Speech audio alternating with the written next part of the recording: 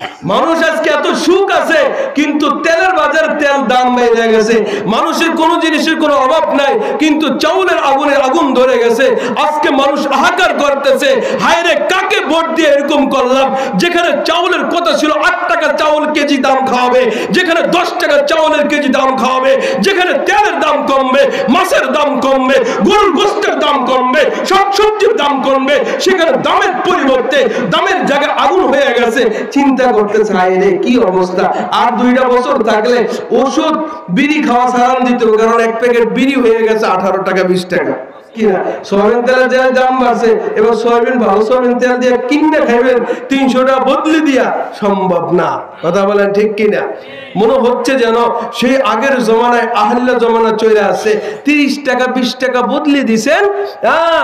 টাকা, পাঁচ টাকা এক কেজি চাউল নিছেন, এবং ওটার ভেতর থেকে একটু তেল নিছেন, খাইছেন, খুব কষ্টের জিন্দিগি গেছে। এই জিন্দিগি মনে হয় শুরু হয়েছে কথা বলেন ঠিক কিনা? মানুষ সুখ আছে, কিন্তু তেলের বাজার তেল দাম বেড়ে গেছে। মানুষের কোনো জিনিসের কোনো অভাব নাই, কিন্তু চাউলের আগুনের আগুন ধরে গেছে। আজকে মানুষ হাহাকার করতেছে কাকে ভোট দিয়ে এরকম করলাম? যেখানে চাউলের কথা ছিল, আট টাকা চাউল কেজি দাম খাওয়াবে, যেখানে দশ টাকা চাউলের কেজি দাম খাওয়াবে, যেখানে তেলের দাম কমবে, মাছের দাম কমবে গরুর গোস্তের দাম কমবে সব সবজির দাম কমবে, সেখানে দামের পরিবর্তে দামের জায়গায় আগুন হয়ে গেছে। চিন্তা কি অবস্থা। আর দুইটা বছর থাকলে ওষুধ, বিড়ি খাওয়া সারান দিতে কারণ এক প্যাকেট বিড়ি হয়ে গেছে আঠারো টাকা, বিশ টাকা। হ্যাঁ কয় টাকা? পঁচিশ টাকা এক প্যাকেট বিড়ি, দুই টাকার প্যাকটার দাম যদি পঁচিশ টাকা হয়, এবার চিন্তা করেন আপনার কতটা বাঁচবে? একটা আগুন একটা হাওয়া যদি হয় পঁচিশ টাকা, তাহলে আপনি স্বর্ণ কিনবেন কয় টাকা দিয়া? হ্যাঁ? স্বর্ণ দাম বাড়ে নাই? আগে বিয়া করলে দুই, তিন ভরে দিয়ে আনতো। এবার বিয়া করলে কানের একটা জিনিস নিয়ে যায়।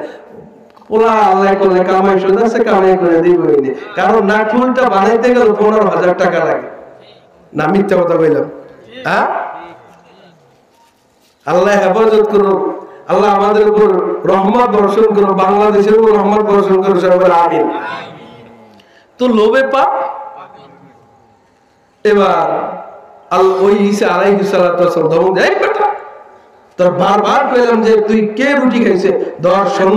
আমার তরে দিলাম, ওই তোর হ্যাঁ তোরটা তো তোরে এবার তোর যাও ভাগ এবার ঈসা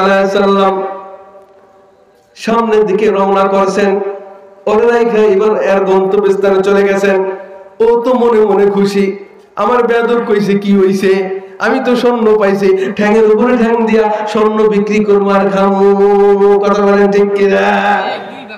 আর এমন আমার গায়ে চোর দেয়। আর আমার চোখের সামনে চোখ রাখে মুখের উপর কথা বলে। আবার কয় করলে কি সে? কারণ ক্ষমতা টিকে রাখার জন্য, আমার চেয়ার টিকে রাখার জন্য, আমার এগুলো করলে কোনো অসুবিধা? আরে, তুই যার ক্ষমতায় ক্ষমতাবান, ওই আলেম মালিকের আল্লাহর সাথে ক্ষমতাবান। তুই যারে বেয়াজিত করছ ওই আল্লাহর বাণী আইসা, তোর এমন বেয়াজিতি করবে, দেখবি মুখ বাইর করতে পারবি না। ওই যে তথাকথিত প্রতিমন্ত্রী ডক্টর মুরাদ শাহ যত আলেমদের সাথে বেয়াদবি করছিল, আজকে ওই তথাকথিত প্রতিমন্ত্রী মুখ বাইর করতে পারেনি। হ্যাঁ?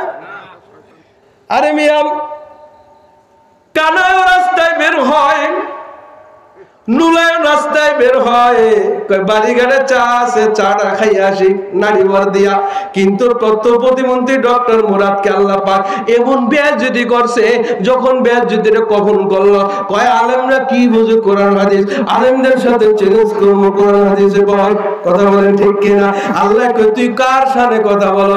ইন্নাল উলামা ওয়ারাসাতুল আম্বিয়া। আম্বিয়ার ওয়ারিস হইল উলামায়ে কেরাম। আর মান কামান আদালি ওয়ালিয়ান যারা আল্লাহ সাথে বেদবি করে, আল্লাহ তাদের সাথে যুদ্ধের ঘোষণা করে।